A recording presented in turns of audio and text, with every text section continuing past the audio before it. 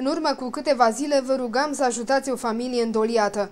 Tatăl la doi copii de 13 și de un an a murit în Spania de o boală cruntă, un cancer. Familia și-a epuizat banii pentru tratamentul tatălui, dar în zadar, bărbatul s-a stins din viață. Pentru a-l aduce în țară era nevoie de o sumă uriașă pentru ei.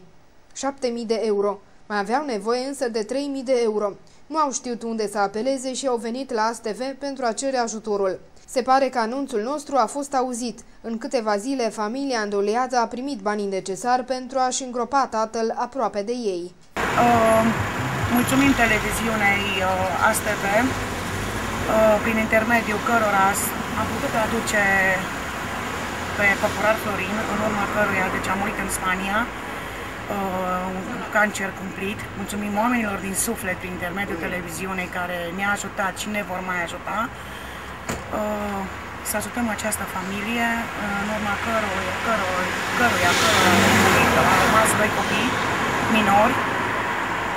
Nu, găs nu găsesc cuvintele, deci mulțumim din suflet celor care ne-au ajutat și ne va mai ajuta. Florin Păcurar ar fi împlinit în 11 mai 38 de ani. Un cancer l-a răpus departe de casă în Spania. Acum familia a rămas fără tată, iar mama va trebui să aibă grijă de cei doi copii.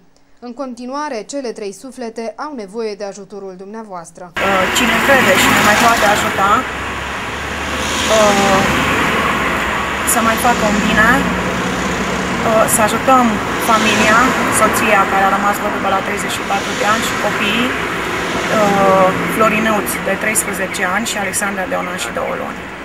Deci să fim alături de ei, de la suflet la suflet, de la inimă la inimă, acum în posturile în postul Sfintelor Paște.